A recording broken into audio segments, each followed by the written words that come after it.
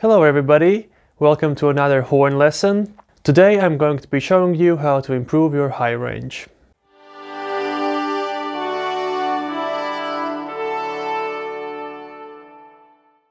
The first thing that I can tell you about improving your high range is that you cannot cheat around it. You need to have a lot of facial muscles. You need to know what to do with your tongue.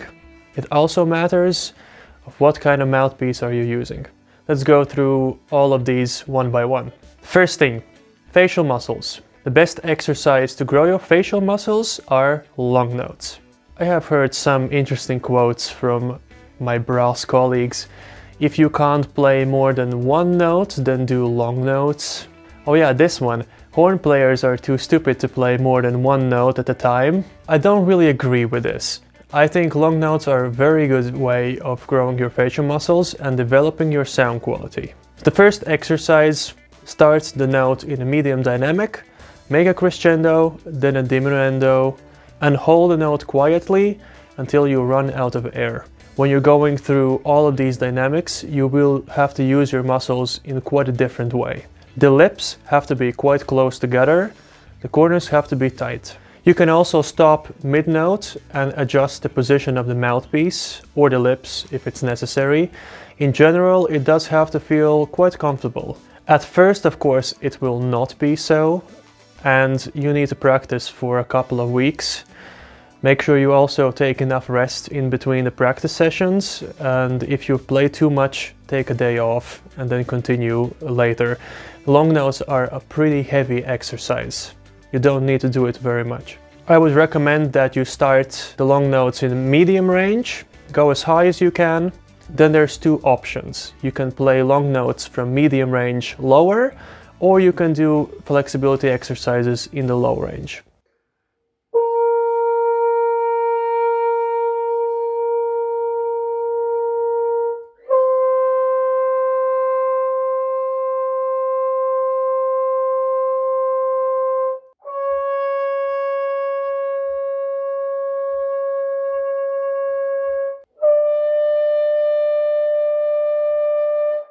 The next exercise is flexibility exercise in a range of a third. This is a very good way to open up your high notes one by one. Also here, make sure that the lips are close together, the corners are tight. When you're playing the exercise, think in your head A on the lowest note and E on the highest.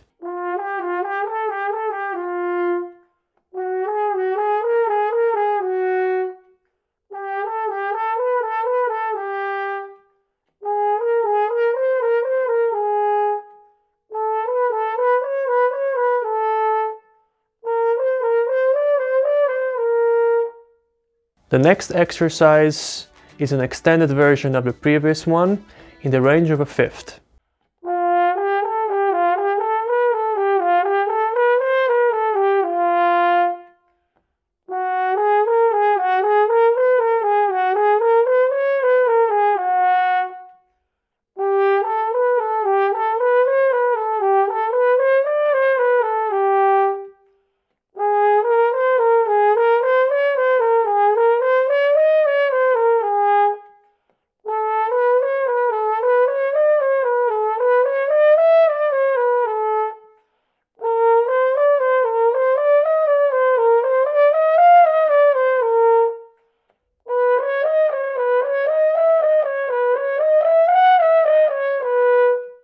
This last one is a power exercise.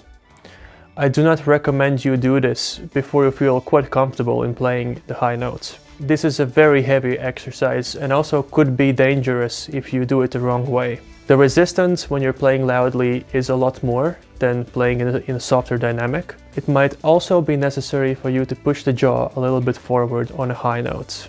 Remember what your muscles were doing when you were playing the long notes? Same thing here, just push more air through. If it feels uncomfortable, don't go higher. After this exercise, also do a little bit of flexibility in the low range.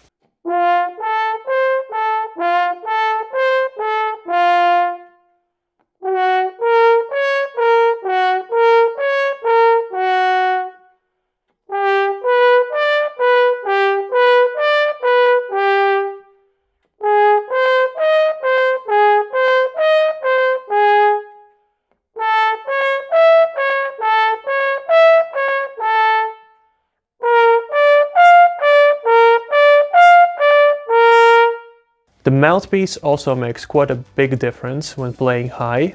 In general, if you have a mouthpiece with a shallow cup and a narrow bore, it will definitely help you to play high, but the sound will be quite narrow and thin. That is why I would recommend using a medium cup with a medium bore. In my mind, this is the best option because in practice you will have to play loudly and also quietly in the high range. Thank you for watching. I hope my tips will help you. Keep practicing even through these very hard times. If you enjoyed the video, please hit that like button and subscribe to be the first to know when a new video is released. Have a good day.